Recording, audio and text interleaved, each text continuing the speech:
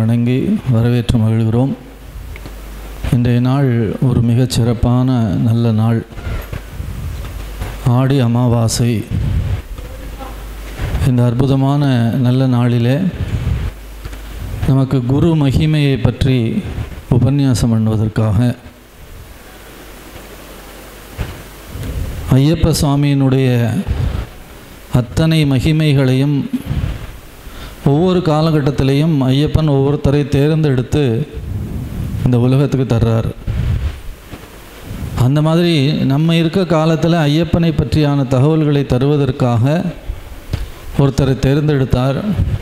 அவர்தான் நம்முடைய அரவிந்த் சுப்பிரமணியம் அவர்கள்.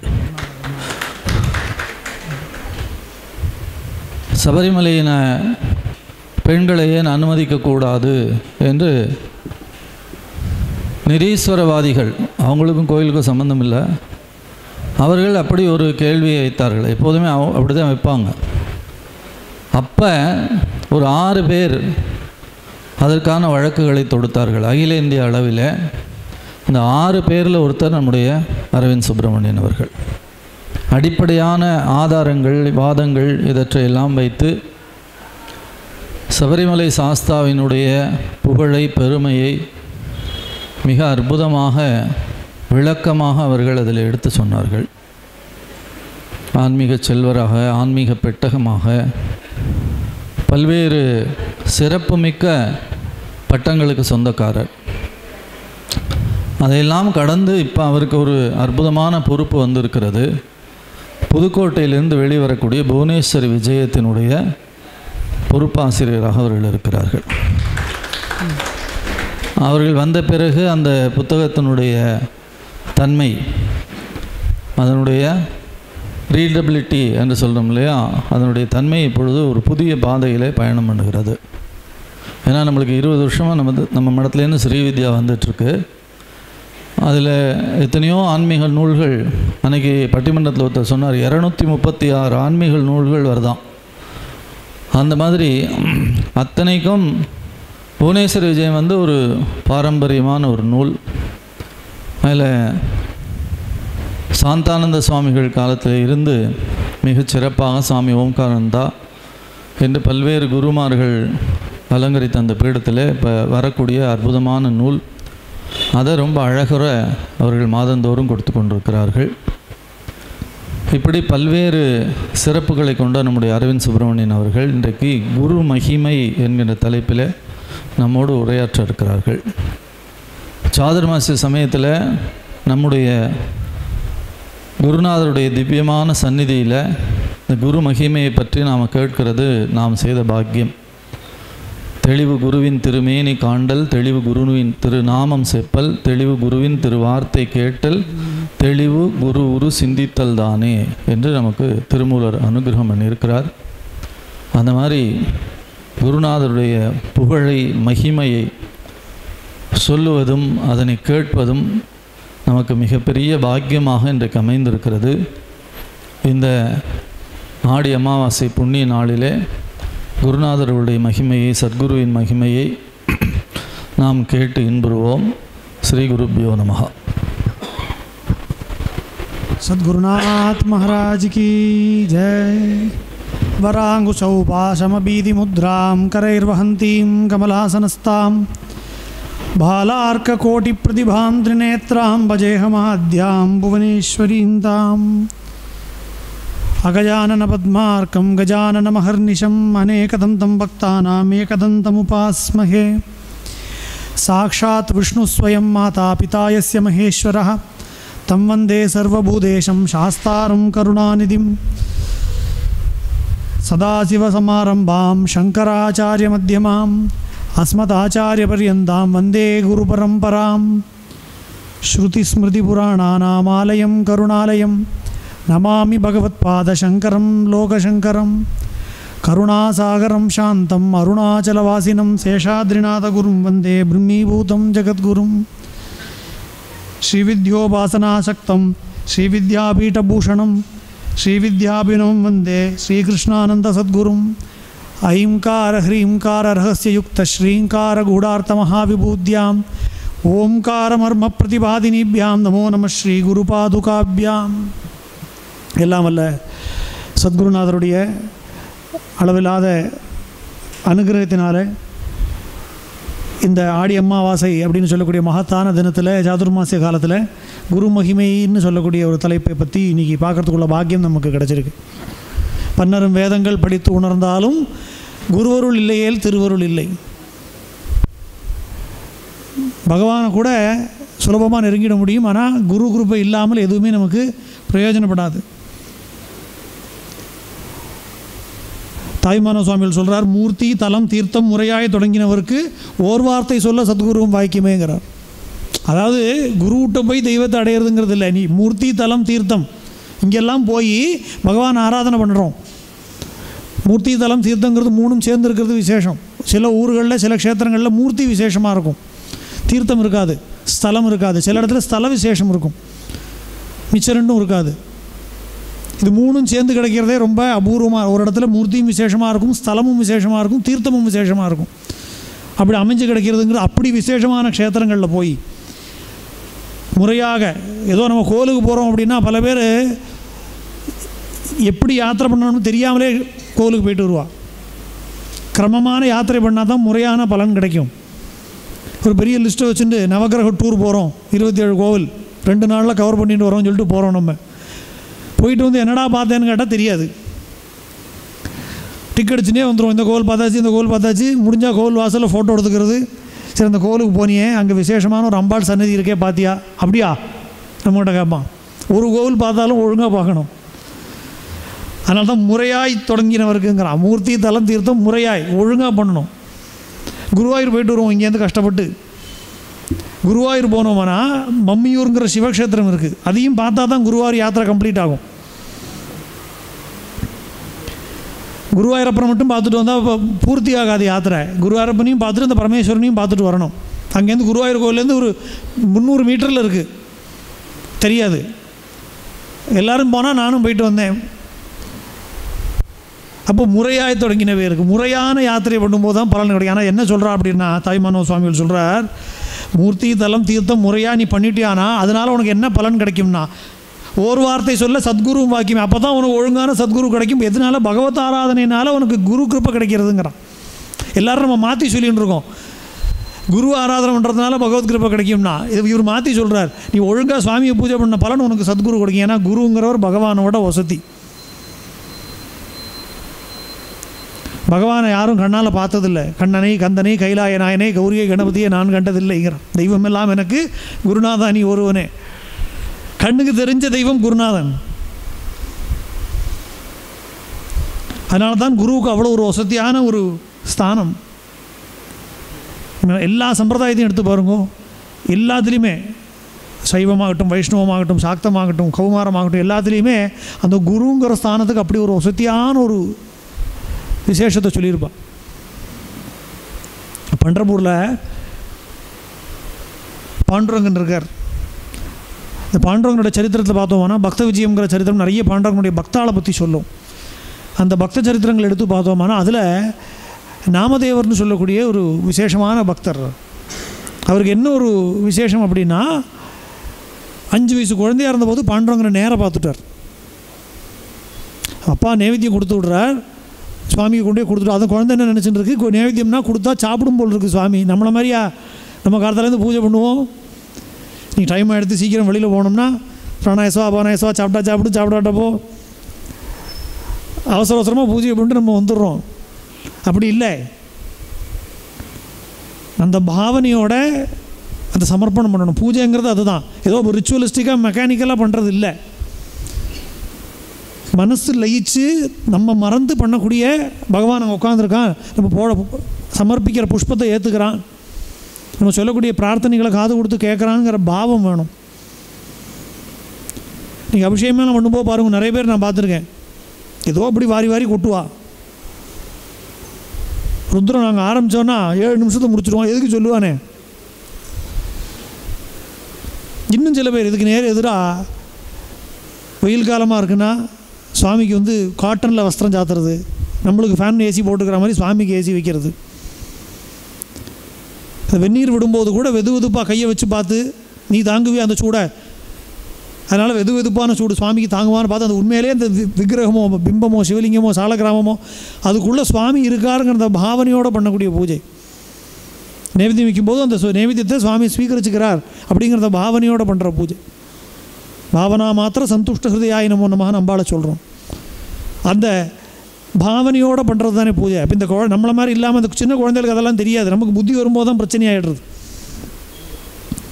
ஆரம்பத்தில் நம்மளும் எல்லோரும் சம் சமத்தாக தான் இருக்கும்.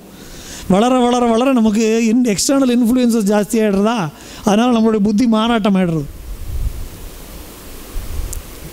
சின்ன குழந்தைகள் பார்த்தீங்கன்னா பிறக்கும்போது குழந்தைகள் பிரம்மஞானிகளாக இருக்குமா? நீங்கள் பார்த்துருந்தெல்லாம் குழந்தைகள் தானே அப்படி சிரிக்கும். ஏன்னா அது அந்தர்முகமாக பார்க்குறது அந்த குழந்தைகள்.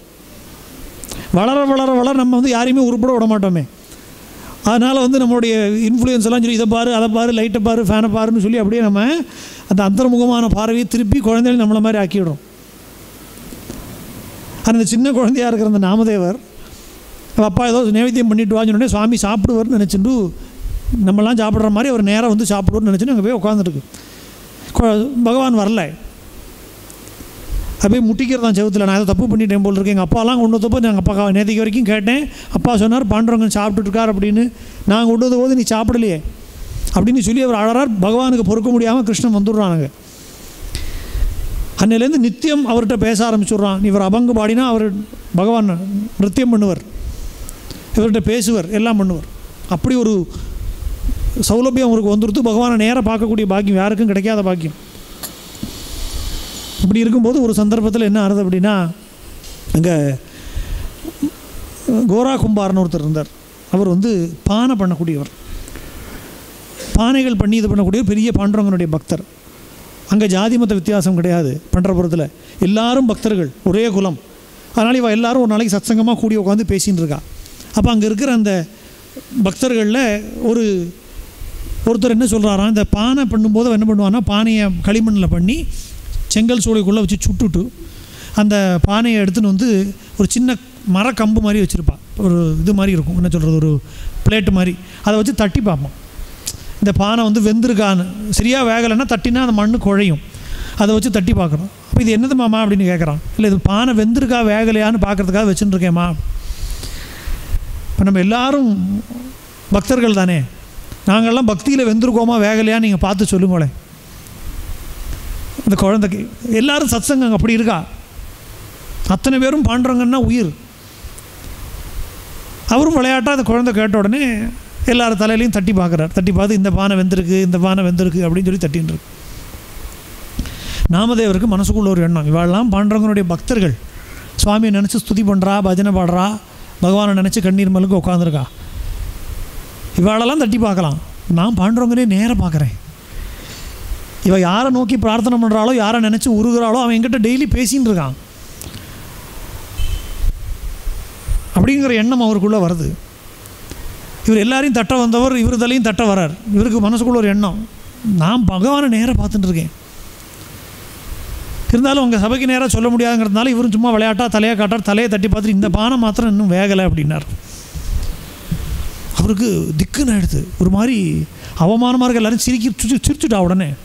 சிரிச்சோடனே ரொம்ப மனசு கஷ்டமாக போயிடுது. என்ன நம்மளை பார்த்து இப்படி சொல்லிட்டாலே அந்த மனசு வருத்தத்தோடையும் கோபம் ஒரு பக்கம் வருத்தம் ஒரு பக்கம் அவமானம் ஒரு பக்கம் இது எல்லாத்தோடையும் அப்படியே நேராக கோவிலுக்கு வரார்.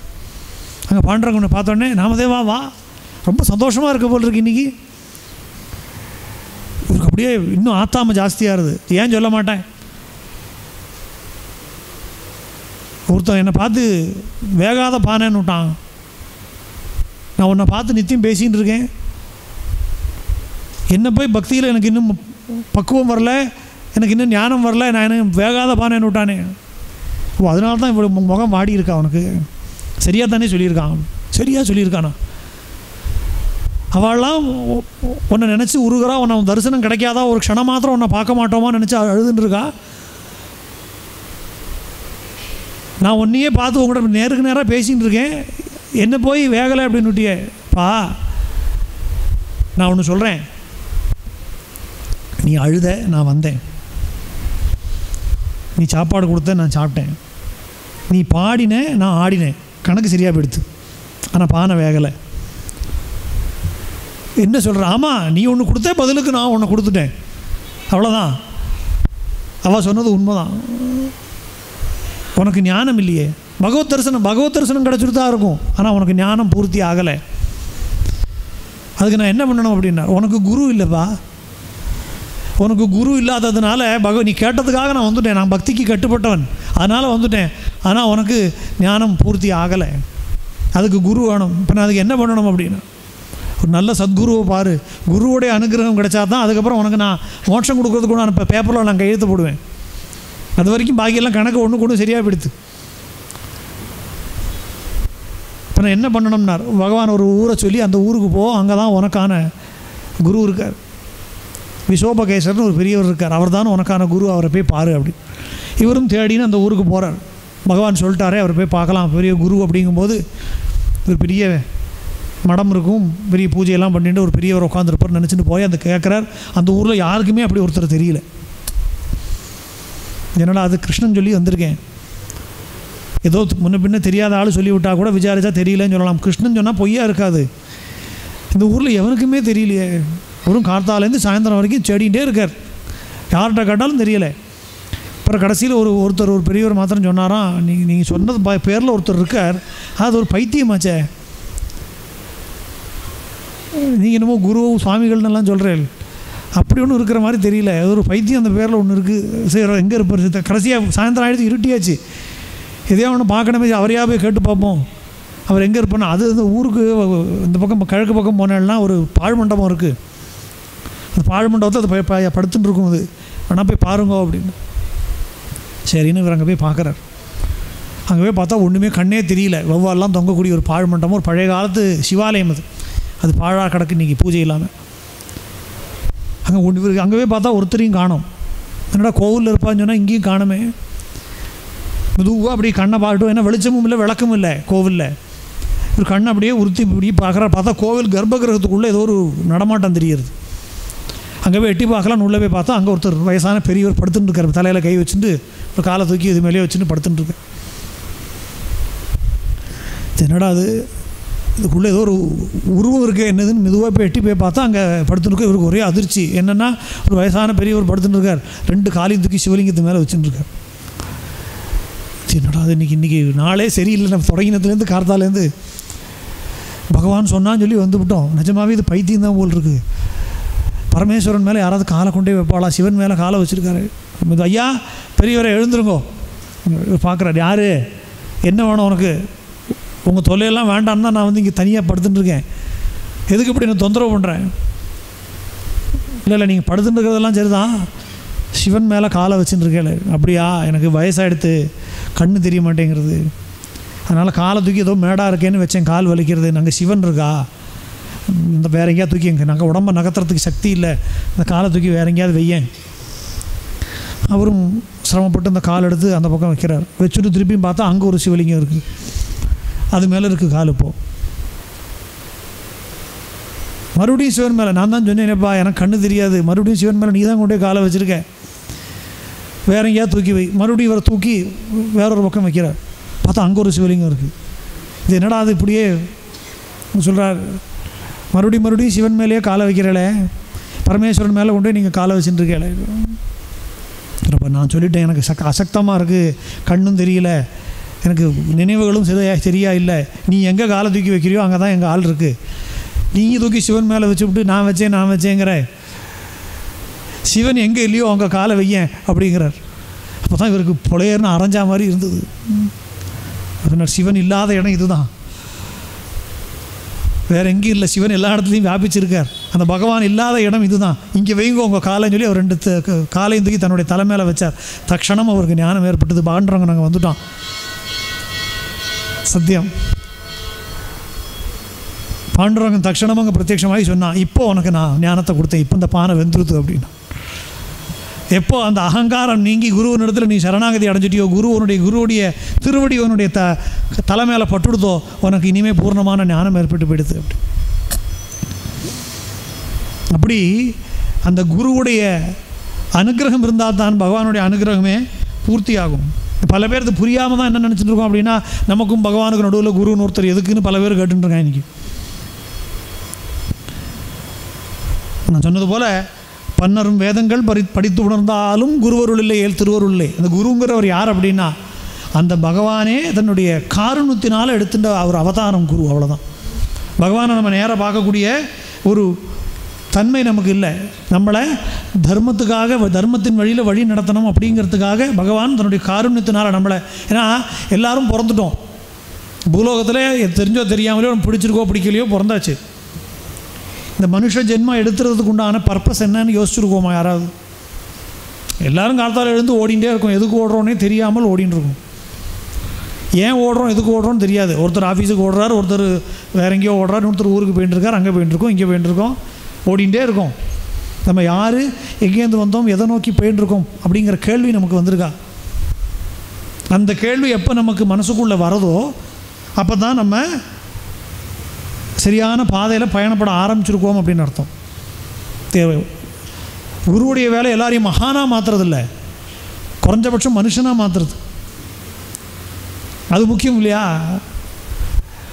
இதுக்கு பல மார்க்கங்கள் பெரிவாக சொல்லி கொடுத்துருக்கா. ஞான மார்க்கம் சொல்லியிருக்கா பக்தி மார்க்கம் சொல்லியிருக்கா கர்ம மார்க்கம் சொல்லியிருக்கா. தப்போவனத்தில் ஞானானந்த சுவாமிகள் இருந்தார். ஞானானந்த சுவாமிகள் இடத்துல வந்து இவ கேட்குறா இந்த மாதிரி விதவிதமான மார்க்கங்கள் சொல்கிறாளே ஞான மார்க்கம் சிறந்ததா? பக்தி மார்க்கம் சிறந்ததா? கர்ம மார்க்கம் சிறந்ததா நீங்கள் சொல்லணும் அப்படின்னார் அவர் சொன்னார் ஞாபகமாக இருப்போம்னார். இல்லை நாங்கள் ஞாபகமாக தானே இருக்கோம்னா.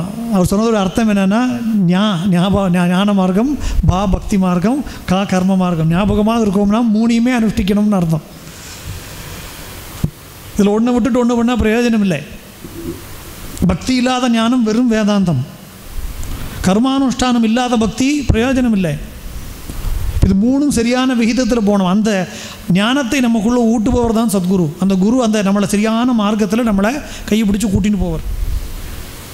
அதனால் ஞானி ஆகிறதுக்குள்ள நம்மளை மனுஷனாக மாற்றுறது தான் குருவுடைய முக்கியமான பணி. அதனால் ஒருத்தருக்கு அந்த குருவுடைய அனுகிரகம் அப்படிங்கிறது நமக்கு பூர்வஜன்ம சுக்கிருதத்தினால தான் கிடைக்கும். எத்தனையோ லட்சோப லட்சம் ஜனங்கள் இருக்கும். எல்லாருக்கும் அந்த குருவுடைய கிருப்பை கிடைக்கிறதா அப்படின்னு இல்லை. நமக்கு ஏதோ சுக்கிருதம் இருக்கிறதுனால அந்த அனுகிரகம் நமக்கு கிடைக்கிறது. ஏன்னா மாதா பிதா குரு தெய்வம்னு சொல்கிறோமே அந்த அம்மாவானவள் அப்பாவை நமக்கு காட்டுறா. அந்த அப்பா நம்முடைய முதல் குருவாக இருந்து நமக்கு ஆன்மீக வழியில் நம்மளை செலுத்துகிறார் அவர் மூலமாக நம்ம ஆன்மீக நாட்டம் வந்த உடனே சரியான பக்குவ நிலையை நம்ம அடைஞ்சோடனே நமக்கான குரு நம்மளை தேடிட்டு வரார்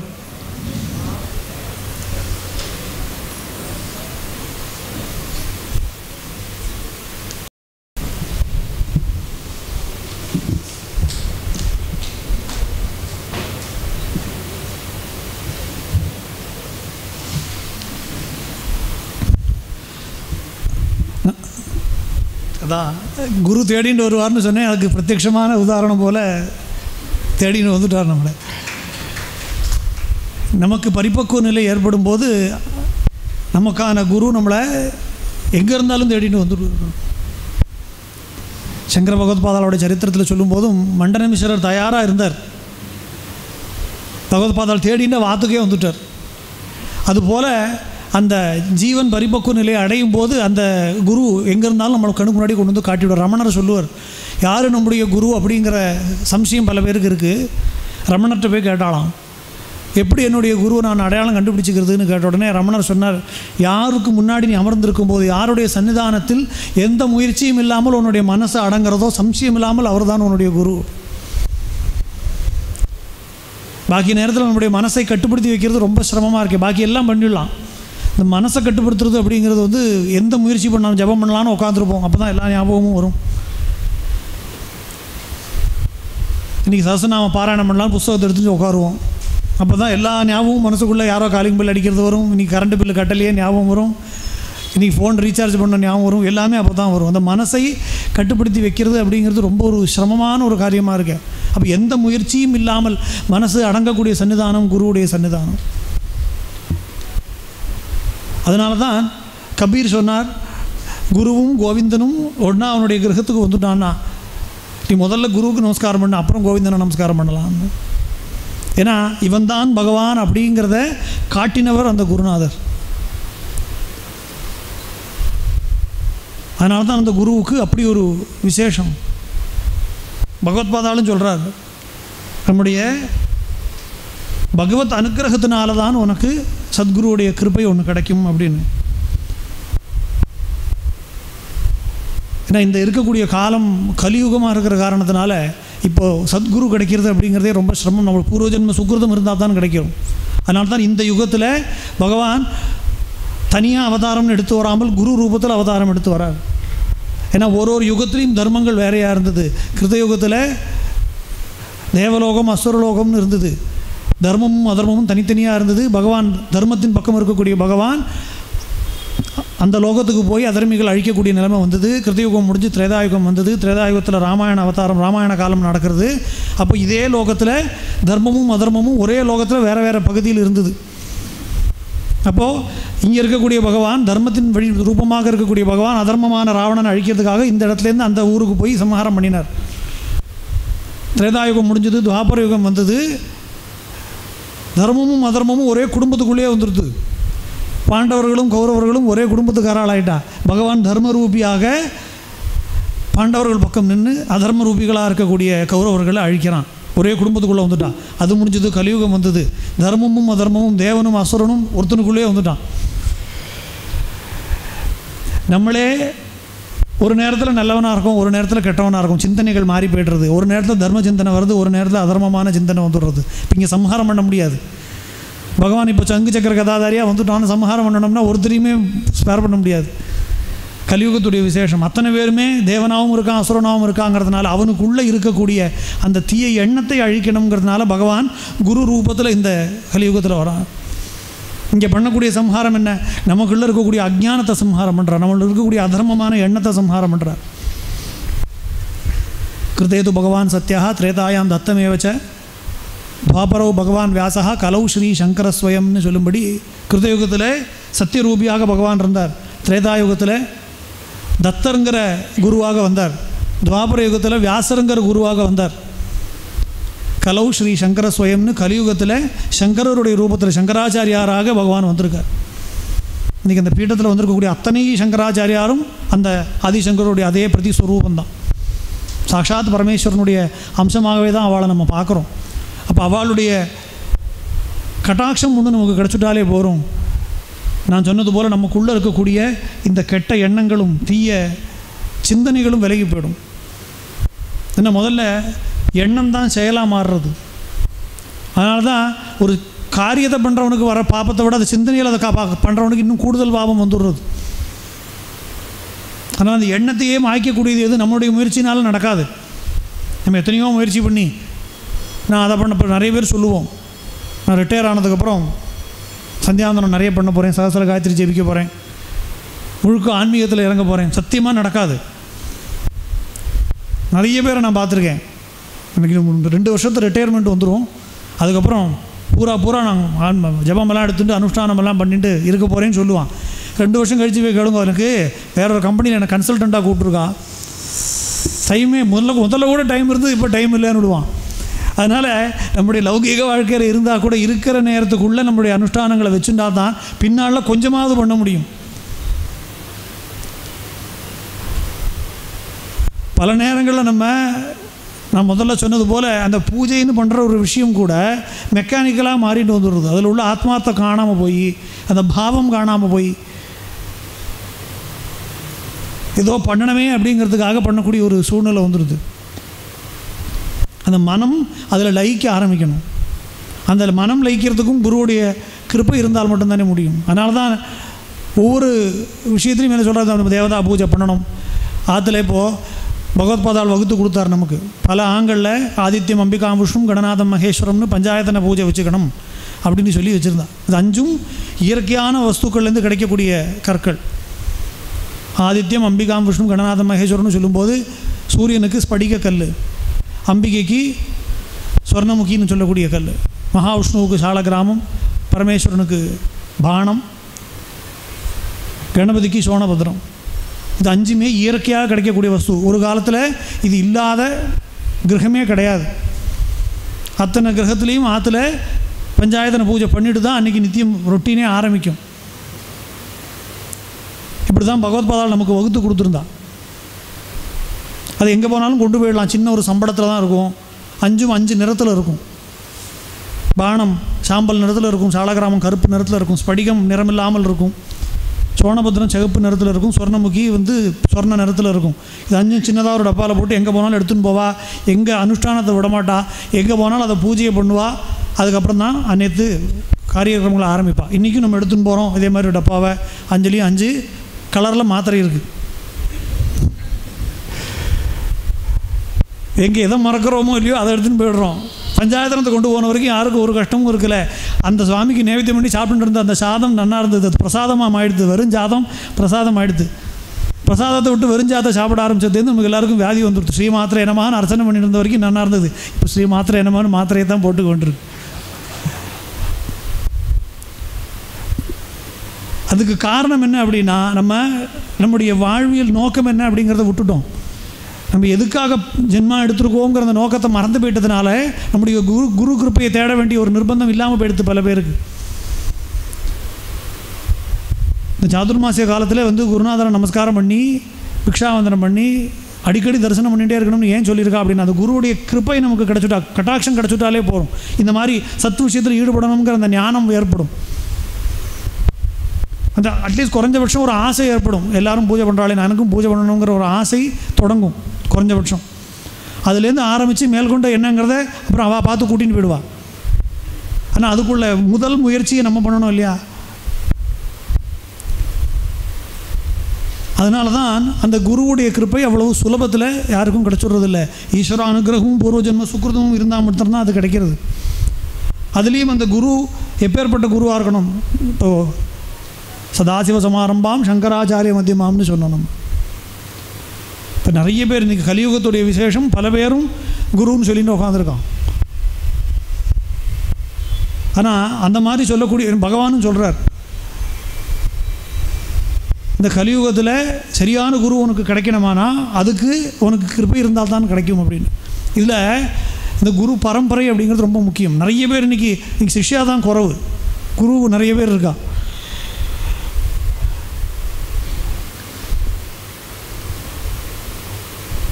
அப்போ அந்த தகுந்த குருவை நம்ம எப்படி தெரிஞ்சுக்கணுங்கிறா அந்த குரு அவருடைய குரு அவருடைய குரு அவருடைய குருன்னு பார்த்தா அந்த குரு பரம்பரை இருக்கே. சதாசிவ சமாரம்பாம் சங்கராச்சாரிய மத்தியமாம். அது எங்கே தொடங்குறது? பரமேஸ்வரன் இடத்துல தொடங்குறது. அந்த பரமேஸ்வரனே ஆதி குருவாக சாட்சாத் தட்சிணாமூர்த்தியாக அமர்ந்து அனுகிரகம் பண்ணிட்டு இருக்கார். கல்லாலின் புடை அமர்ந்து கற்ற கேள்வி வல்லால் நால்வருக்கும் வாக்கு இறந்த பூரணமாய். வாக்கு இறந்த பூரணமாய். அவங்க பேச்சே இல்லை. கல்லாலின் புடை அமர்ந்து சாதாரண ஆலமரம் இல்லை. இப்போது இன்னைக்கு இந்த ஊட்டியிலலாம் போய் பார்த்தோன்னா தெரியும். ஒரு ஆலமரம் அப்படியே கோடிக்கணக்கான வருஷமாக இருந்ததுன்னா கல்லாக மாறிடுது ஃபாசிலுங்கிறான்.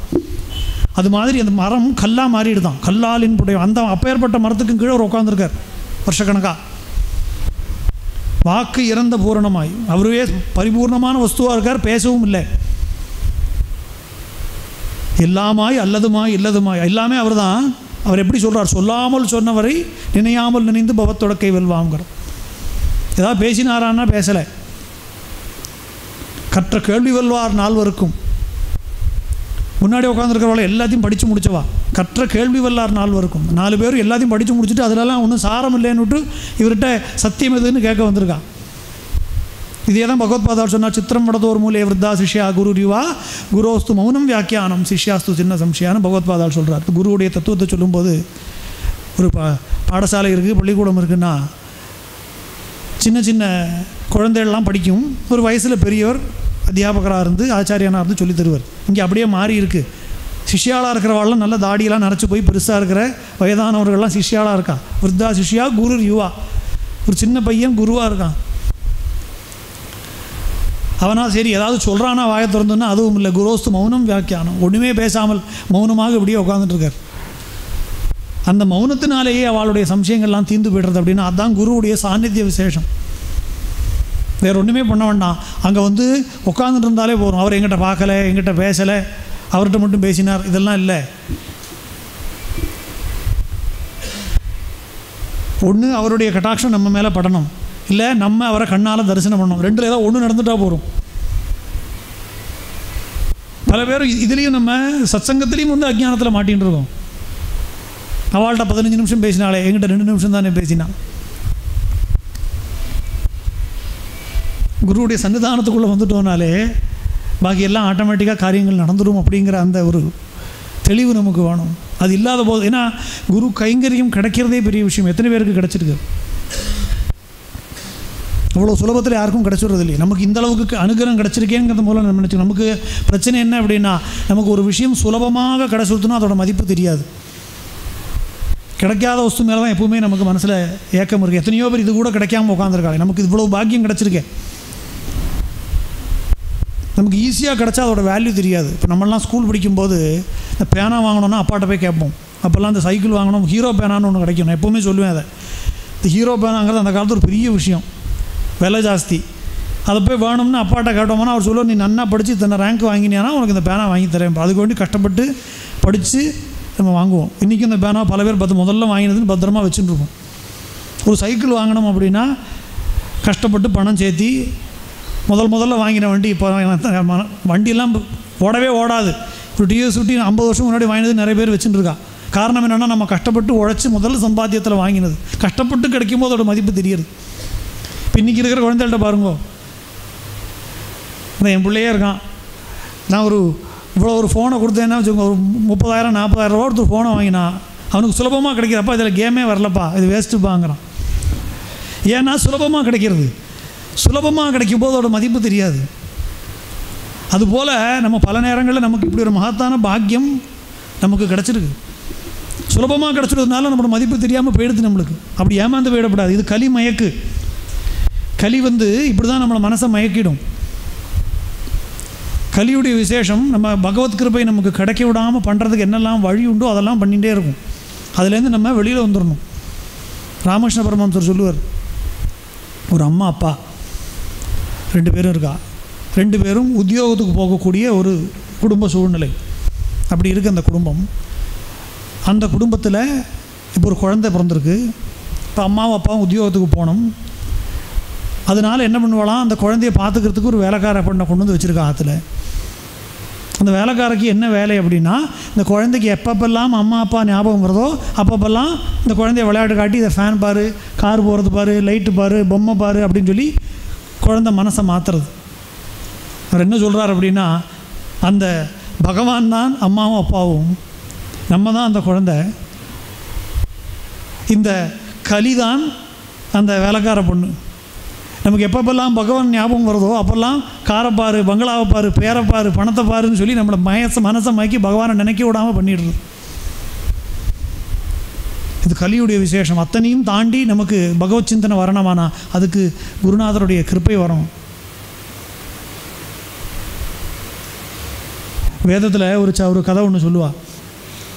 ஒரு சிஷ்யன் குருவுக்கு அப்படி ஒரு விசேஷமான கைங்கரியம் பண்ணிட்டு இருக்கான். அவர் மனசில் நினைக்கிற காரியத்தை இவன் பண்ணுறான் அவருக்கு எதாவது வேணும்னா பார்த்து பார்த்து பார்த்து பார்த்து பண்ணிகிட்டே இருக்கான். இவனுடைய குரு சுசுருஷையை பார்த்து சந்தோஷப்பட்டு போன அக்னி பகவான் அவனுக்கு தரிசனம் கொடுக்குறாராம் அப்பா உன்னை போல குரு சேவை யாருமே பண்ணது கிடையாது. உனக்கு என்ன வரம் வேணும் கேளு. குரு சேவைக்கு நீ ஒரு உதாரணமாக இருக்க. உனக்கு என்ன வரம் வேணும்? அவன் எது எப்படி இருக்கும் பாருங்க. எதிரில் அக்னி பகவான் நிற்கிறார். அவன் கேட்டான் எனக்கு இன்னும் குரு கைங்கரியம் பண்ணணும் அதை மாத்திரம் கொடுங்க எனக்கு வேற ஒன்றும் வேண்டாம்.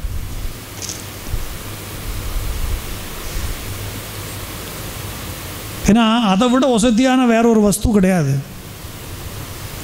அந்த குரு கைங்கரியம் கொடுக்கக்கூடிய ஒரு திருப்தி அந்த குரு கை- கிடைக்கக்கூடிய ஒரு பாக்கியம் போல வேற எதுவுமே கிடையாது. அதுலேயும் நம்முடைய தட்சிண பாரதத்தில் பற்பல மகான்களும் ஞானிகளும் யோகிகளும் அவதாரம் பண்ணியிருக்கான்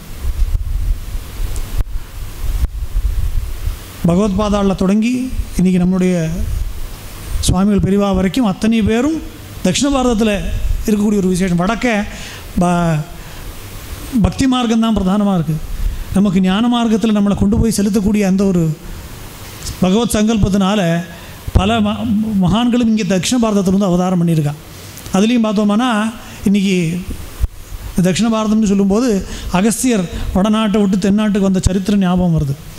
அவருமே தட்சிண பாரதத்து மேலுள்ள அபிமானத்தினாலையும் இங்கே உள்ள பக்த ப- ஜனங்களுக்கு அனுகிரகம் பண்ணணுங்கிற ஒரு காரணத்துக்காக இங்கே வந்தாராம். அப்படி வரக்கூடிய அந்த அகஸ்தியருக்கு விசேஷமான நாள் இன்னைக்கு ஆடி மாதம் அமாவாசை. ஆடி அமாவாசை நாள் இன்றைக்கி நாங்கள் அவர் என்கிட்ட தேதி கேட்டால் நான் சொன்னேனே ஒழிஞ்சு இன்றைக்கி என்ன தேதி இன்றைக்கி என்ன திதின்னு பார்க்கவே இல்லை அன்றைக்கி அப்படி அமைஞ்சது அது?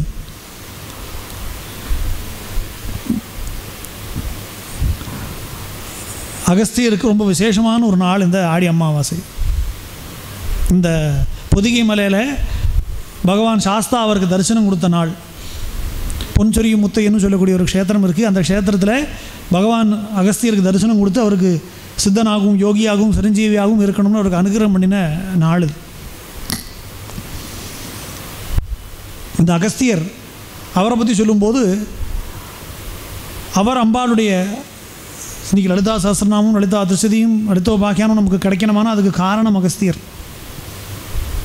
அவர் இந்த ஜனங்கள் மேலுள்ள காருண்யத்தினால இந்த கலியுத ஜனங்களெல்லாம் சரியான அனுகிரகம் இல்லாமல் பயின்றிருக்காடேங்கிற கவலையினால் வந்தாலும் தான் குருமார்களுடைய லட்சணம்.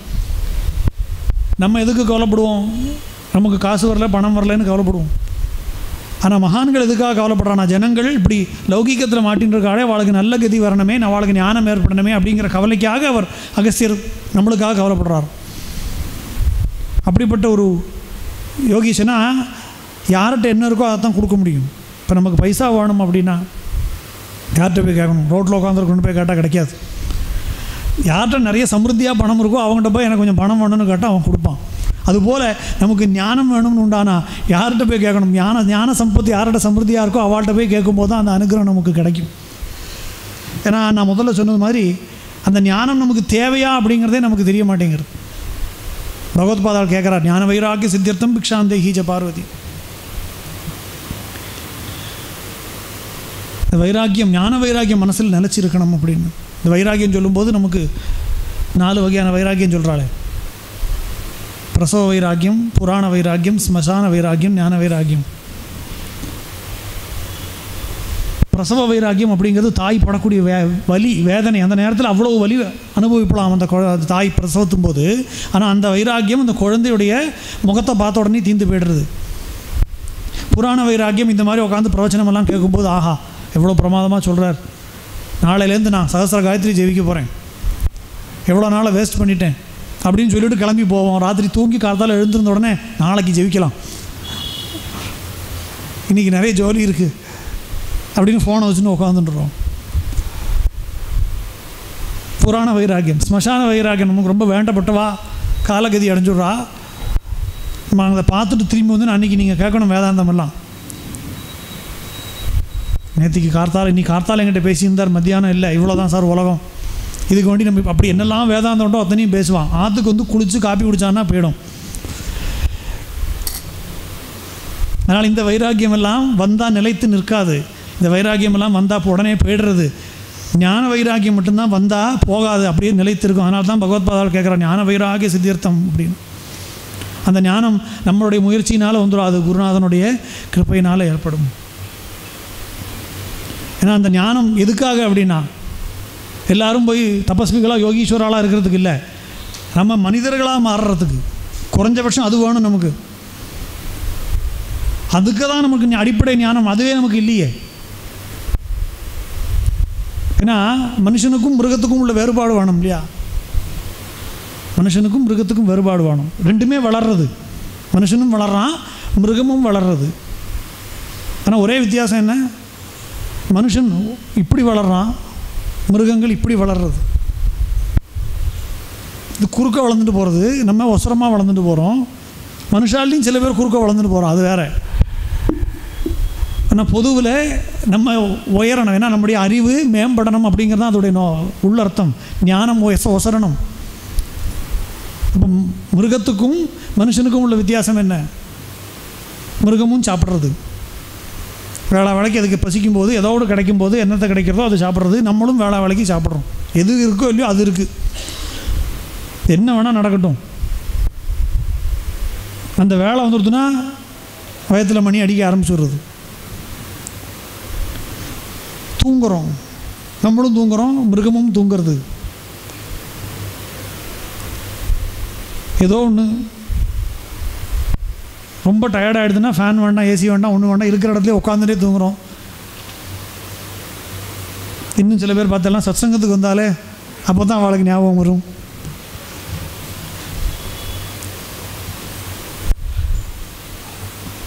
சத்சங்கத்துலேயோ பஜனையோ பூஜையோ நடந்துட்டு இருக்கும்போது கூட அங்கே தனியாக கும்பகரண உபாசனை நடந்துட்டு இருக்கும். அப்படி சில பேருக்கு இருக்குது தூக்கம். நம்மளும் தூங்குறோம் மிருகமும் தூங்குறது.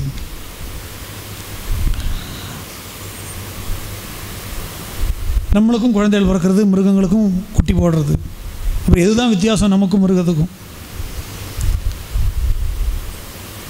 ஆகார நித்ராம் பயமைத்து நானி.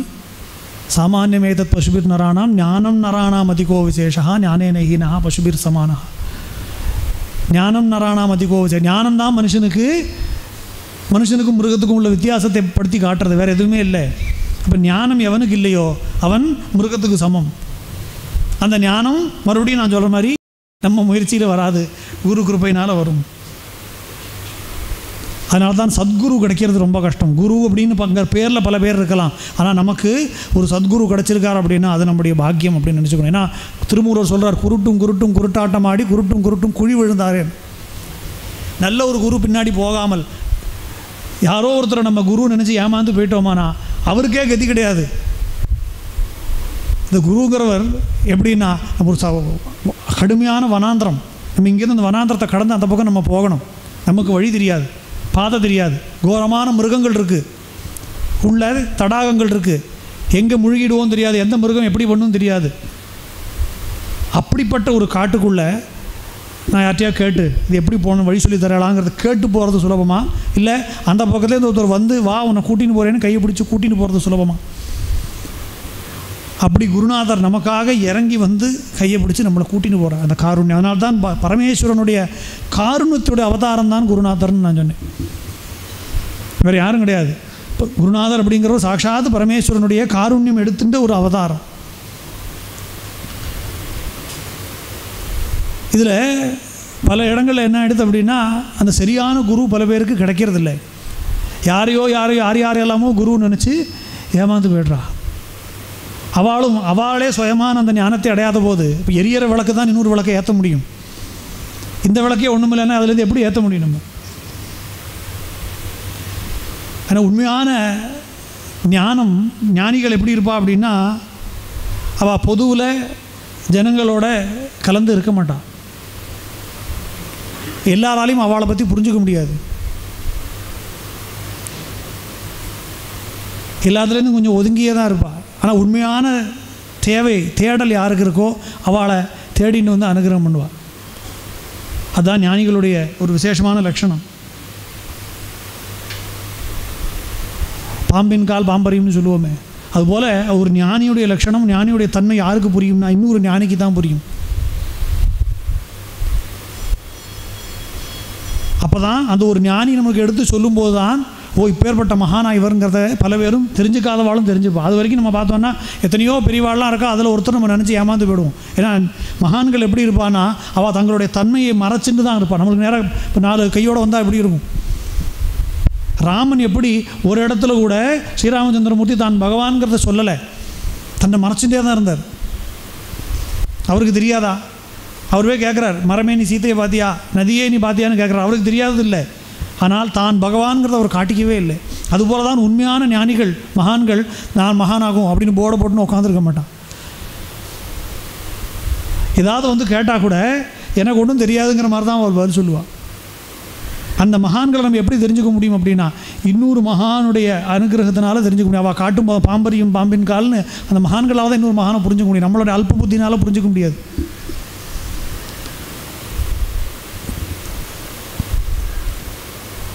தப்போவனத்தில் ஞானானந்த சுவாமிகளை பற்றி சொல்லிட்டு இருந்தேன். ஞானானந்த சுவாமிகள் நம்முடைய ஆச்சாரியர்கள் வீட்டில் இருக்கக்கூடிய அதே பத்ரிகாசிரமத்துடைய ஜோஷி மட்டுடைய பீடத்தில் எத்தனையோ காலத்துக்கு முன்னாடி இருந்த சிவரத்னகிரி சுவாமிகளுடைய சிஷ்யராக இருந்தார். அங்கேருந்து பல சாக்கைகளாக அது பிரியறது. கிளைமடமாக பிரியறது. அப்படி அது வந்த ஒரு சாக்கையில் இருந்த சிவரத்னகிரி சுவாமிகளோட சிஷ்யராக அவர் இருந்தார். அப்போது நம்முடைய பரமகுருநாதராக இருக்கக்கூடிய ஸ்ரீ ராமச்சந்திரானந்த தீர்த்த சுவாமிகள் வந்து திருவண்ணாமலைக்கு வரக்கூடிய ஒரு சூழ்நிலை வந்தது அப்போ. அப்போ அங்கே இருக்கிறவாள்லாம் வந்து சொன்னால் நீங்களும் அந்த பீடத்தில் இருந்து வந்தவர். அவரும் பத்ரி சங்கராச்சாரியாராக இருக்கக்கூடியவர். நீங்கள் உங்கள் ரெண்டு பேரையும் ஒன்றா வச்சு பார்க்கக்கூடிய பாக்கியம் எங்களுக்கு கிடச்சிதுன்னா பெரிய ஒரு மகத்தான அனுகிரகமாக இருக்கும். அப்படின்னு சொல்லி ஞானானந்த சுவாமிகிட்ட சொன்னாலாம் அப்போ நீங்கள் திருவண்ணாமலைக்கு வந்தேன்னா நல்லா இருக்கும் அப்படின்னு சொல்லி அவர்கிட்ட கேட்டிருக்கேன் அவர் சொன்னாராம் ஆச்சாரியாளுடைய சங்கல்பம் அப்படி இருக்குமானா அதுக்கு திருவண்ணாமலைக்கு போக வேண்டாம். இது இங்கேயே நடக்கும் அப்படின்னார். தப்போவனத்திலேயே நடக்கும்னு சொல்லிட்டு சொல்லிட்டு உள்ளே போயிட்டார். அதான் மகான்களுடைய விசேஷம். அவர் ஒன்றும் பதில் சொல்லலை இவளுக்கு ஒன்றுமே புரியல. ஏன்னா அவள் பேசக்கூடிய வார்த்தைக்கு அர்த்தம் என்னன்னு நம்மளால் புரிஞ்சுக்க முடியாது. இப்படி சொல்கிறாரே இதுக்கு என்ன அர்த்தம்? திடீர்னு ஒரு அரை மணி நேரம் கழித்து வெளியில் வந்தார். பூர்ணகுமம் ரெடி பண்ணுவோம் அப்படின்னார். அங்கே இருக்கிற வைதிகள்லாம் உடனே பூர்ணகுமம் ரெடி பண்ணி எதுக்கு சொல்கிறாரு தெரியாது. குருநாதர் சொன்னால் கேட்கணும் அவ்வளோதான் பூர்ணகுமம் தயார் பண்ண வெளியில் வைக்கும்போது பரமகுருநாத சுவாமிகள் அங்கே வந்து இறங்கினாராம். இவ ரெண்டு பேரும் வந்து சம ஆசனத்தில் உட்காந்து பக்தர்களுக்கு அனுக்கி அனுகிரம் பண்ணினான்னு சொல்லி அங்கே நேரில் பார்த்தவா? சொல்லி கேட்டிருக்கோம். அப்போது ஒரு மகானுடைய தன்மையை புரிஞ்சுக்கிறது இன்னொரு மகானால் மட்டும்தான் முடியும். அவளால் மட்டும்தான் சுட்டி காட்ட முடியும். இவர் இப்போ அப்போ நான் இன்றைக்கி என்ன ஃபோன் இருந்ததா? இல்லை வேறு இன்னொன்று இருந்தால் ஆள் சொல்லி விட்டாளா? மனசுக்குள்ளே அவள் சங்கல்பம் பண்ணால் மனசுக்குள்ளேயே அவள் பேசின்னுருவான் ஏன்னா குரு ஸ்வரூபங்கிறது ஒன்று தானே சரீரம் தான் வேறு வேறையாக இருக்கே ஒழிஞ்சு தத்துவம் ஒன்று தான் ஸ்வரூபம் ஒன்று தான் அதனால் இவர் பக்தாலெலாம் ஆசைப்படுறா. அவளுக்கு தரிசனம் ரெண்டு பேரும் சேர்ந்து கொடுக்கணும்னு இங்கே சங்கல்பம் பண்ணோடனே அவருக்கு தெரிஞ்சுடுத்து அவர் வந்துட்டாருங்க ரெண்டு பேரும் ஏக காலத்தில் தரிசனம் கொடுத்தான்னு சொல்லி அங்கே அங்கே இருந்த ஒருத்தர் சொல்லியும் நான் நிறைய பேர்ட்டையும் நான் கேட்டுட்டேன் அதை. அப்படி அப்பேற்பட்ட அந்த ஆதிசங்கர பரம்பரையில் தொடக்காச்சாரியாளுடைய வம்சத்தில் வந்திருக்கக்கூடிய ஆச்சாரிய புருஷர் நமக்கு முன்னாடி உட்காந்துருக்கார் அவரை கண்ணால் பார்த்து தரிசனம் பண்ணுறதே நமக்கு மிகப்பெரிய ஒரு பாக்கியம்.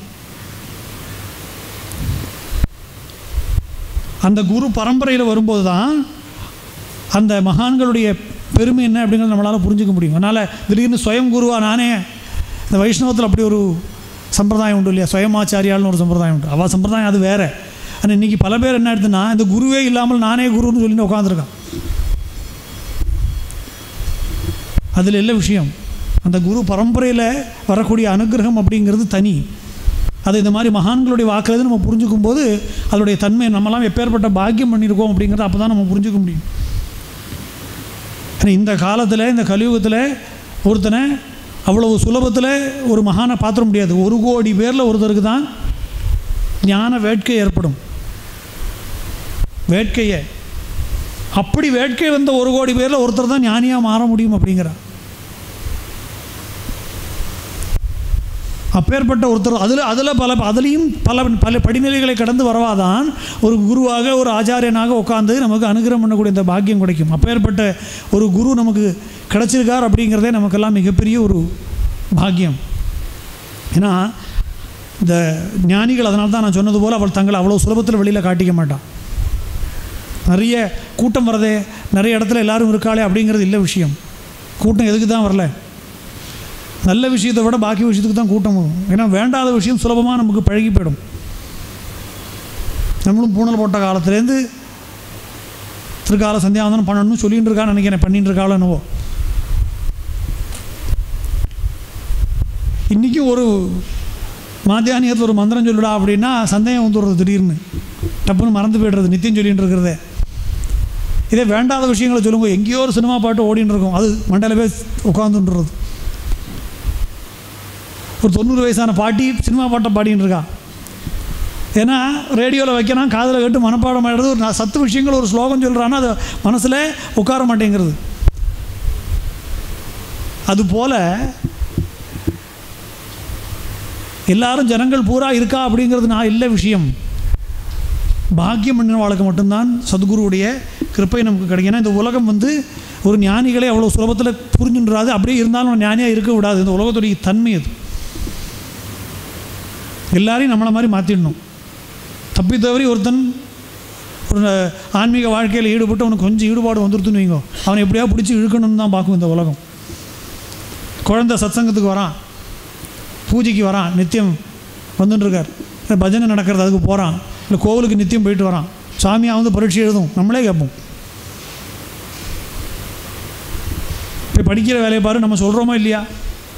அப்போது நம்முடைய தப்பித்தவரி கூட யாரும் நன்னா ஆகிடும் நம்முடைய சுபாவம் அது. ஏன்னா நம்ம நன்னா இல்லை.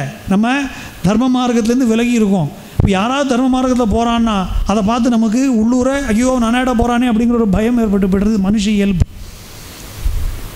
இப்படி இருப்போமான்னு நான் சொல்கிறேன் உங்களுக்கு சிம்பிளான உதாரணம் சொல்கிறேன் இந்த சிஏன்னு ஒரு பரீட்சை இருக்குது ரொம்ப கஷ்டம். சார்ட்டர்ட் அக்கௌண்டன்சி இதில் நிறைய பேர் எழுதிண்டே எழுதிண்டே எழுதிண்டே இருப்பான் நம்ம பல தடவை எழுதியிருப்போம். பரீட்சையில் ஜெயிக்க முடியாது தோற்று போயிருப்போம். ஃபெயில் ஆகிருப்போம் மனசில் ஒரு வருத்தம் ஏற்படும். இந்த தடவையும் பரீட்சை போயிடுத்தேன்.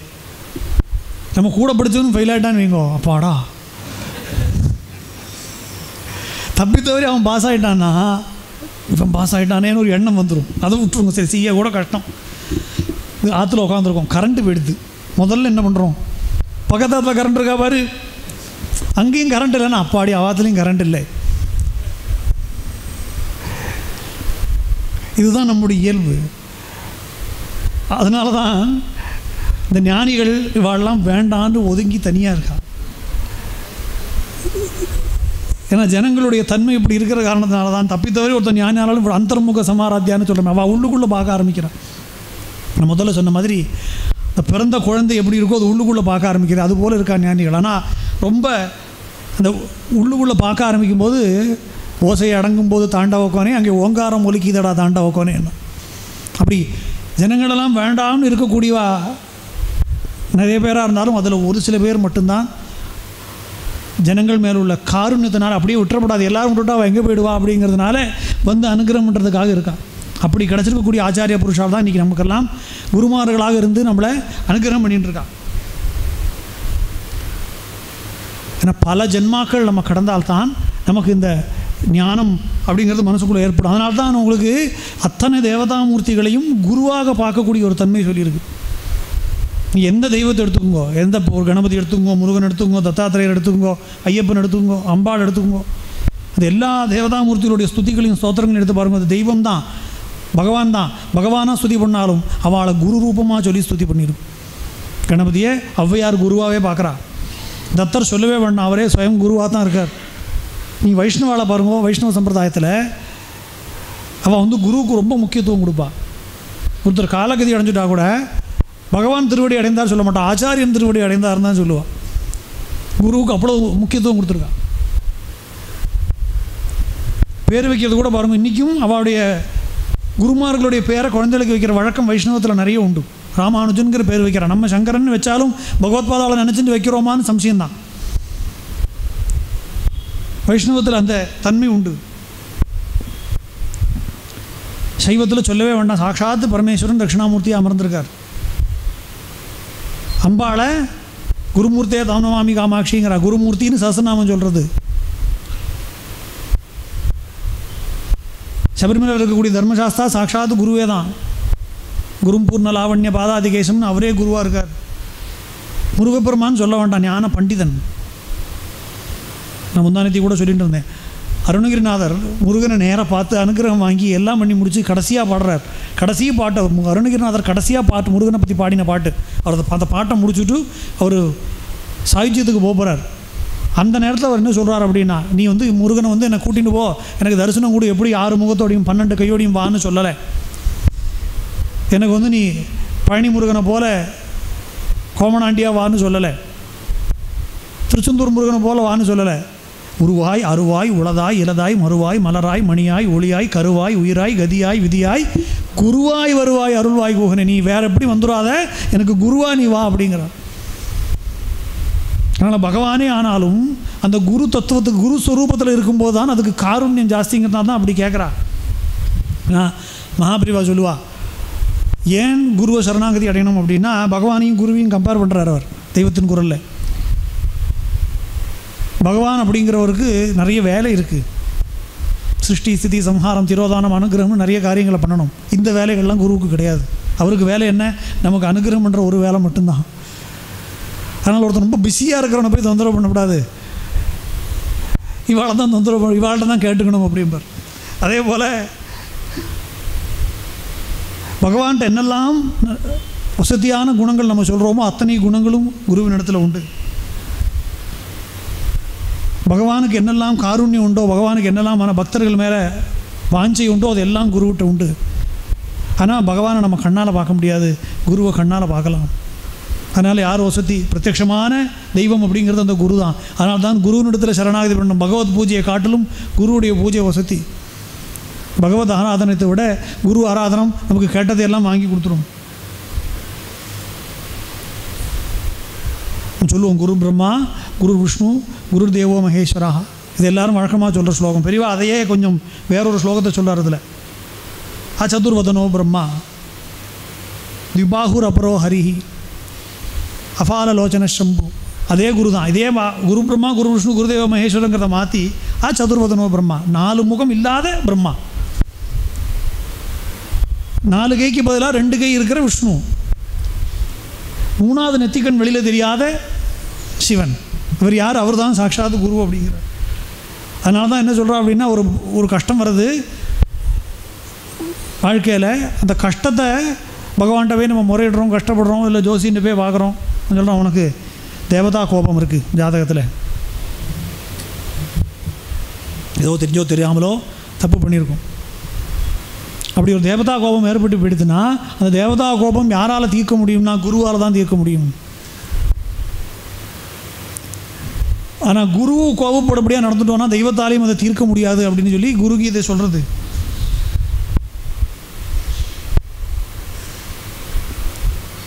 அப்போ யார் வசதி இதில்? அதனால தான் குரு கிருப்பை அப்படிங்கிற அந்த ஒரு வார்த்தையை ரொம்ப விசேஷமாக நம்ம சொல்கிறோம்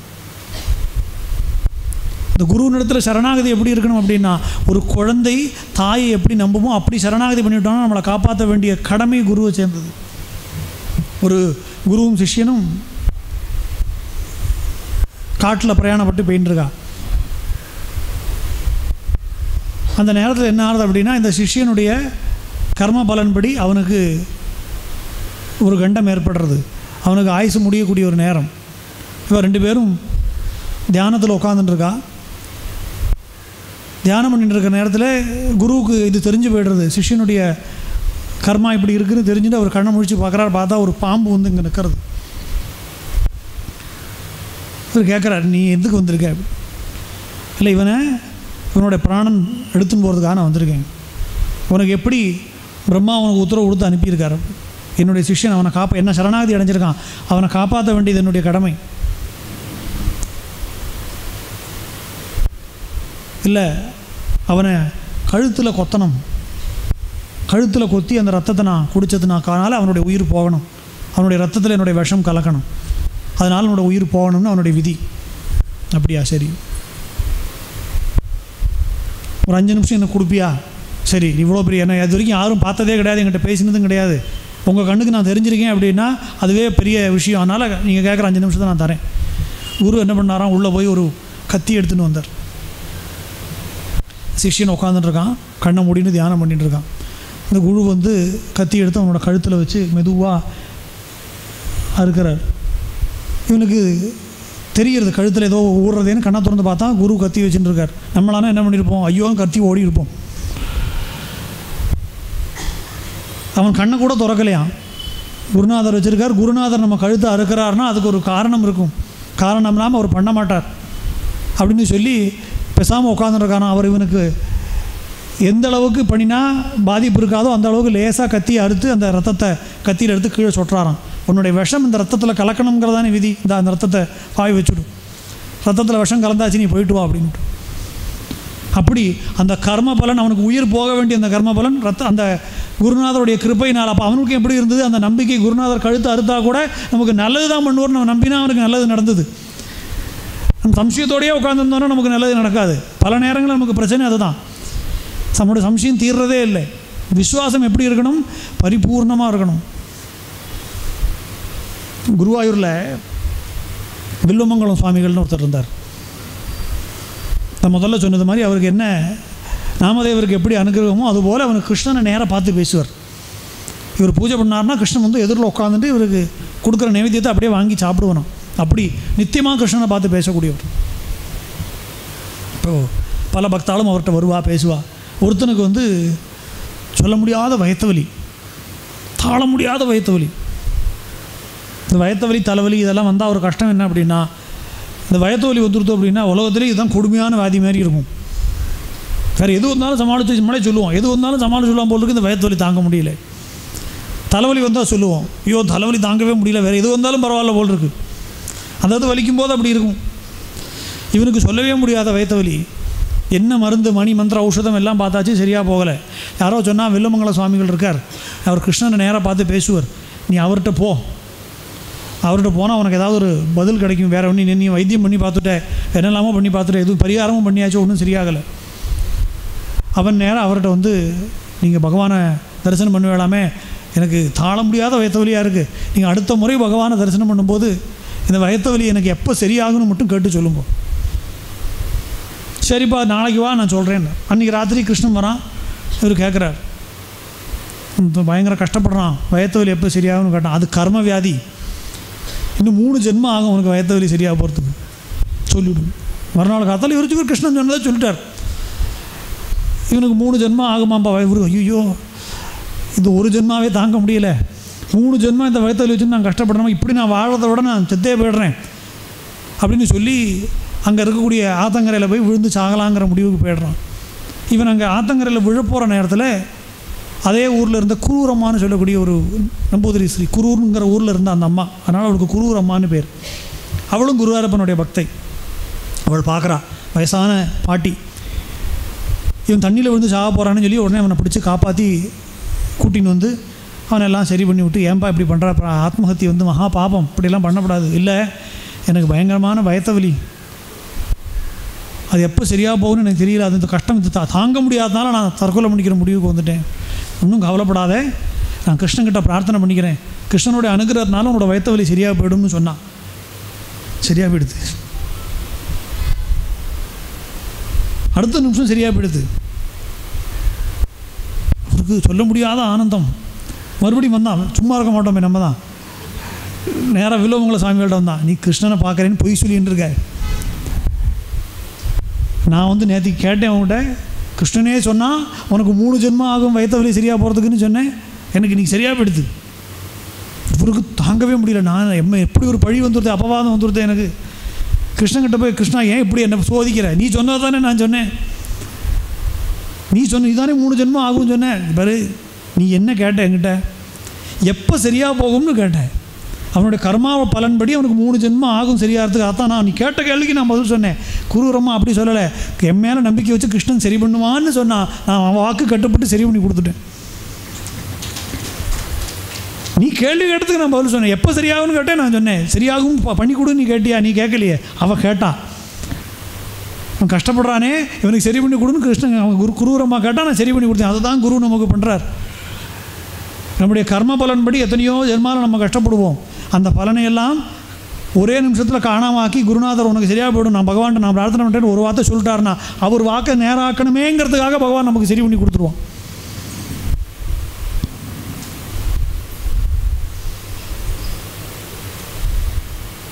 சேஷாதிரி சுவாமிகள் திருவண்ணாமலையில் சொல்லுவார் நான் காயத்தை தடுக்க மாட்டேன் ஆனால் கட்டு போடுறதுக்கு வந்துடுறேன் அப்படின்பார் காயத்தை தடுக்க மாட்டேன் ஆனால் கட்டு போடுறதுக்கு நான் வந்துடுவேன் அப்படிம்பார். ஏன்னா நம்ம கா காயம் கர்ம வினை ஆனால் அதை சரி பண்ணுறதுக்கு குருநாதர் நான் இருக்கேன் அப்படிங்கிறத அவர் காட்டுறார். நம்ம வேடிக்கையாக நான் சொல்லுவேன். என்ன அப்படின்னா நம்முடைய ஒரு ஆப்ரேஷன் நடக்கிறது. இந்த குரு கிருப்பை எப்படி ஒருத்தனுக்கு அனுகிரகம் பண்ணும் அப்படிங்கிறதுக்கு இருக்கு இல்லையா?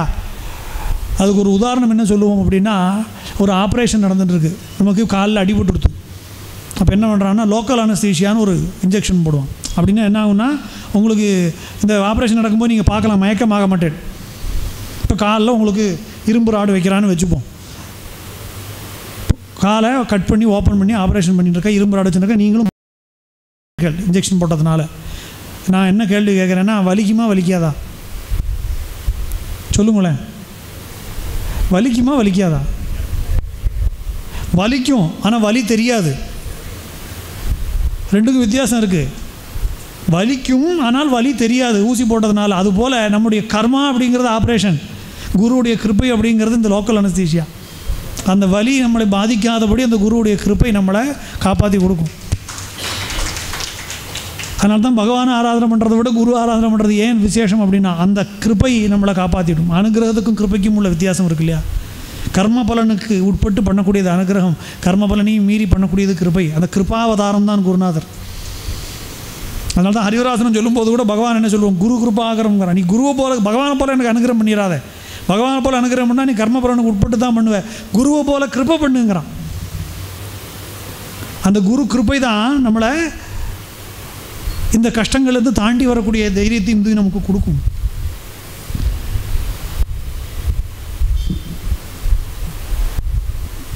பல நேரங்களில்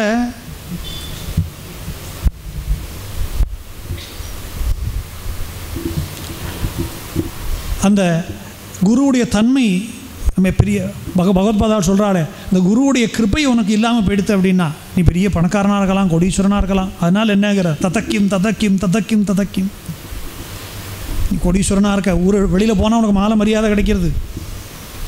இறங்கினா அவன் காலை தரையில் வைக்க விட மாட்டேங்கிறான். மனசே நிலக்கணும். குருவரங்கிரி பத்மே ததக்கியும் ததக்கியும் ததக்கியும் ததக்கியும் குருவை நீ நினைக்கல குருவுடைய கிருப்பை உனக்கு இல்லை. குருவுடைய பக்தி உனக்கு இல்லைன்னா அவர் என்ன பிரயோஜனம்ங்கிறான். அந்த குரு கிருப்பை இருந்தால்தான் நம்முடைய வாழ்க்கை பூர்ணத்துவத்தை அடையும். நம்ம அகஸ்தியரை பற்றி ஆரம்பித்தேன் அதையும் சொல்லி பூர்த்தி பண்ணிவிடுறேன் அந்த அகஸ்தியர்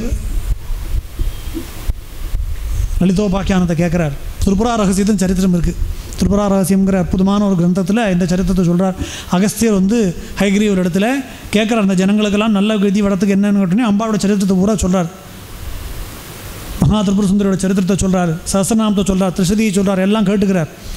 எல்லாம் கேட்டு முடித்த உடனே நீங்கள் சொல்கிறது எனக்கு ஆச்சரியமாக இருக்குது சுமேரு மத்திய சிங்கஸ்தா ஸ்ரீமன் நகர நாயிகா. சிந்தாமணி கிரகாந்தஸ்தா பஞ்சபிரம்மாசனஸ்திதா மகாபத்மாடவி சம்ஸ்தா கதம்பவன வாசினி சசநாமம் சொல்கிறது அப்படி சுமேரு மத்திய மலையுடைய மேலே ஸ்ரீநகரம்னு ஒரு நகரம் இருக்குங்கிறேள். அதில் சிந்தாமணி கிரகம் இருக்குங்கிறேள். அதில் பரதேவதை உட்காந்துருக்காங்கிறேள் இந்த கதையெல்லாம் நான் கேட்டதே இல்லையே. அகஸ்தியர் சொல்கிறார் எனக்கு பக்திபூர்வமாக எனக்கு புரியுறது நீங்கள் சொல்கிறதெல்லாம் சத்தியம்னு. ஆனால் சுமேரு மலையில் என்னுடைய கால் படாத ஒரு இடம் இல்லை. அத்தனை இடத்துக்கும் நான் போயிட்டு வந்திருக்கேன். இப்படி ஒரு இடத்த நான் பார்த்ததே இல்லையே ஏன் பார்க்கல? கைலாசம் பார்த்துருக்கேன் வைகுண்டம் பார்த்துருக்கேன். பாக்கி அத்தனை தேவதா லோகங்களுக்கும் நான் போயிட்டு வந்திருக்கேன். நீங்கள் சொல்கிறது சத்தியம்னு என்னுடைய மனசு ஒத்துக்கிறது. ஆனால் நான் கண்ணால் பார்க்கலையே ஏன் பார்க்கல? கேட்குறார் அகஸ்தியர் அதுக்கு அவர் சொன்னாராம் அப்பா எல்லாம் சரிதான்.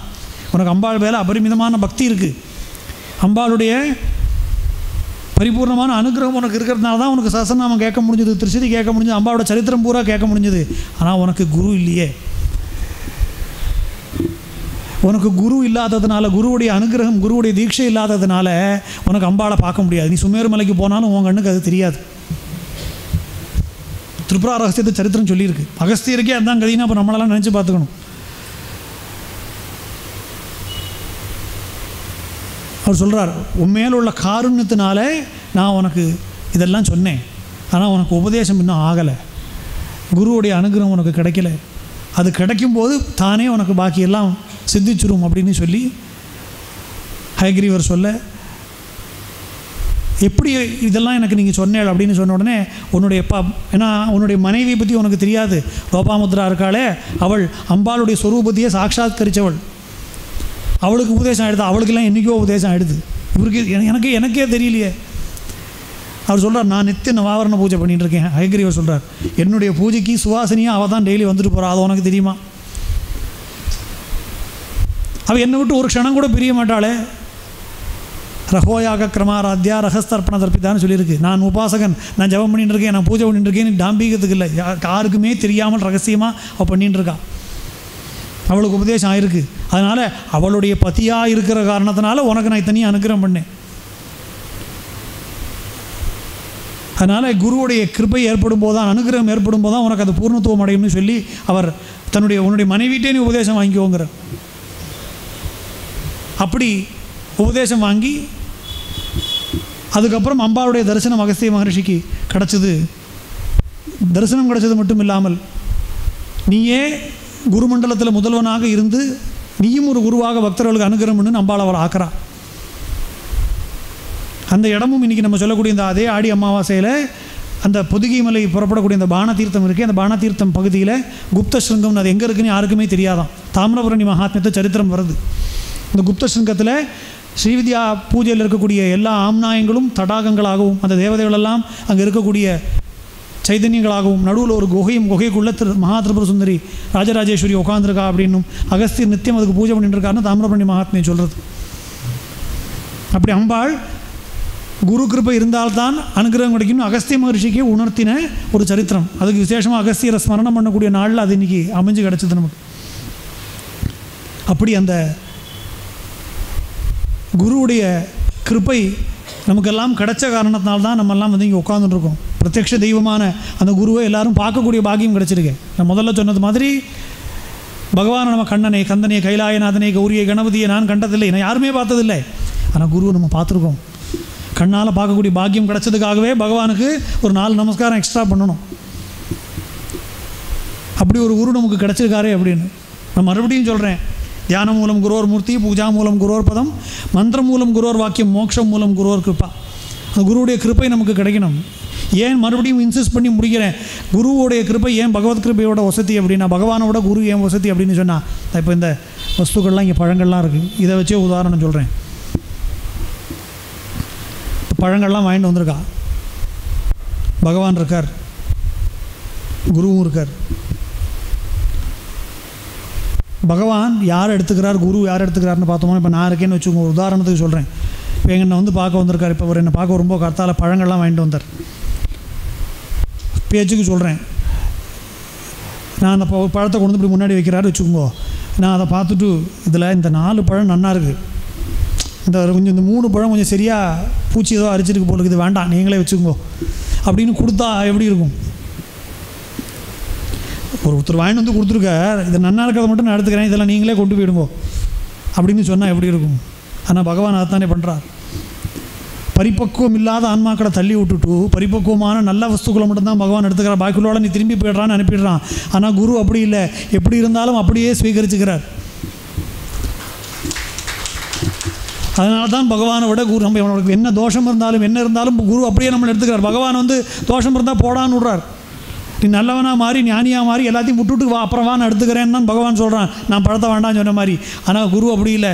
இவனுக்கு என்ன தோஷம் இருந்தாலும் என்ன குறை இருந்தாலும் அப்படியே அந்த குறையோடு சுவீகரித்து நம்மளையும் புண்ணியாத்மாவாக மாத்துறாரே. உழன்று திரிந்த என்னை உத்தமனாக்கி வைத்தாருன்னு சொல்லும்படி அப்படி நம்மளை மாத்துறாரு. அதுதான் குருவுடைய கிருப்பை அதனால தான் பகவானை விட குரு வசதியாக இருக்கார். அப்பேற்பட்ட அந்த குருவுடைய ந குருவோர் அதிகம் தத்துவம் ந குருவோர் அதிகம் தப்பா. குருவை விட வேறு எதுவும் இல்லை. அந்த குருவுடைய உபாசனை சகலத்தையும் கொடுக்கும். பகவத் உபாசனையை விட ஒருபடி மேலே கொடுக்கணும்னு நான் அடித்து சொல்லுவேன். நமக்கு என்ன தேவைங்கிறது அவருக்கு தெரியும். அத்தனையும் அனுகிரகம் பண்ணக்கூடிய கண்ணுக்கு தெரிஞ்ச கற்பக விருட்சமாக அவர் இருக்கார். குரு பிரம்மா குரு விஷ்ணு வெறுமனை வாயில சொல்கிறது இல்லை. அதை பிரத்யட்சமாக உணர்ந்து அந்த எண்ணத்தோடு நீங்கள் சரணாகதி பண்ணி நமஸ்காரம் பண்ணுங்க. அதுக்கப்புறம் கிருபை தானே உங்களை தேடி வந்து நினச்சாலும் நிறுத்த முடியாது. அப்பேற்பட்ட ஒரு மகத்தான அனுகிரகம் நம்ம அத்தனை பேருக்கும் கிடச்சிருக்கு. அதுதான் குருவுடைய மகிமை. அப்பேற்பட்ட அந்த மகத்தான குருவுடைய அனுகிரகம் கிடச்சி இங்கெல்லாம் உட்காந்துருக்கோமே இதுவே ஒரு பிரத்யட்சமான மகிமை. தனியாக வேற ஒன்றும் சொல்ல வேண்டாம். எத்தனையோ ல- கோடானு கோடி ஜனங்கள் இருக்கா அந்த பூமியில்? இந்த மெட்ராஸில் எத்தனையோ கோடி பேர் இருக்கா? அதில் நம்முடைய சனாதன தர்மத்தை நம்பக்கூடியவா எத்தனையோ பேர் இருக்கா? அத்தனை பேருக்கு இந்த பாக்கியம் கிடச்சிடும் இல்லையே. எல்லாருக்கும் குரு இருக்காளானா இல்லை. நமக்கு கிடச்சிருக்கே அப்படிங்கிறதே நமக்கு மிகப்பெரிய ஒரு அனுகிரகம். அந்த அனுகிரகம் கிடச்சிடுறதுனால இனி நம்ம சரணாகதி மட்டும் பண்ணிட்டா போகிறோம் பாக்கிய அந்த குரு கிருப்பை நமக்கு என்ன வேணுமோ அதை கொடுத்துரும்னு சொல்லி இப்பேற்பட்ட ஒரு மகத்தான ஒரு பாக்கியத்தை இப்பேற்பட்ட ஒரு மகத்தான சன்னிதானத்தில் வச்சு பேசக்கூடிய ஒரு பாக்கியம் உண்டாக்கி கொடுத்த அத்தனை பேருக்கும் என்னுடைய நன்றியை தெரிவிச்சுண்டு பெரிவாளுக்கு என்னுடைய சாஷ்டாங்கமான நமஸ்காரத்தையும் தெரிவிச்சுக்கிறேன். ஏதோ எனக்கு தெரிஞ்ச மாதிரி நான் பேசியிருக்கேன். நான் எப்பவும் சொல்கிறது போல் பெரியவா முன்னாடி பேசுகிறதெல்லாம் வந்து மிகப்பெரிய ஒரு பாக்கியம். இதில் ஏதாவது தவறுகள் இருந்தது அப்படின்னு சொல்லி சொன்னால் அதை க்ஷமிக்கணும். நான் எப்பவும் சொல்கிறது தான் சொல்கிறேன் இந்த ரேடியோவில் டெலிகாஸ்ட் பண்ணும்போது சில சமயம் நன்னா கேட்கும் சில சமயம் கரகரான்னு கேட்கும் அது மாதிரி நீங்கள் பேசினது நல்ல விஷயங்கள் இருந்தது அப்படின்னா அது என்னுடைய குருநாதர் சேஷாதிரி சுவாமிகள் எனக்குள்ளே இருந்து பேசின நல்ல விஷயங்கள். ஏதாவது தப்பான வார்த்தைகள் வந்திருந்து தப்பான விஷயங்கள் சொல்லியிருந்தால் இந்த ரேடியோ பற்றி சரியாக இல்லைன்னு நினச்சிட்டு அதை க்ஷமிச்சுக்கணும்னு சொல்லி குருநாதருடைய திருவடிகளில் சாஷ்டாங்க நமஸ்காரத்தை சமர்ப்பணம் பண்ணி குருநாதருடைய கிருப்பை அத்தனை பேருக்கும் கிடைக்கணும்னு பிரார்த்தனை பண்ணிக்கிறேன். சத்குருநாத் மகாராஜ் கி. அதிபராசக்தி மாதா கி. ஜெய் ஜெகதம்பிகே பரமேஸ்வரி.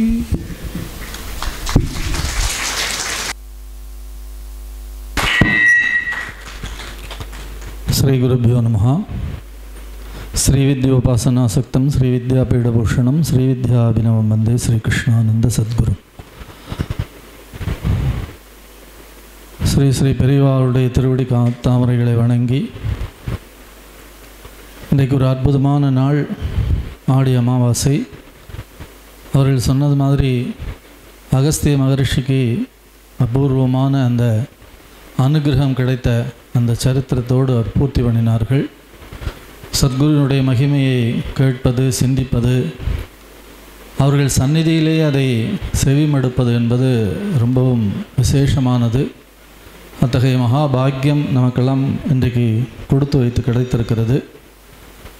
அந்த மகாபாக்கியத்தோடு இன்றைக்கு நம்முடைய பாராட்டுதற்குரிய அரவிந்த் சுப்பிரமணியம் அவர்களுடைய உபன்யாசத்தை நாம் கேட்டு குருநாதருடைய பரிபூரணமான அனுகிரகத்தை பெற்றிருக்கிறோம்.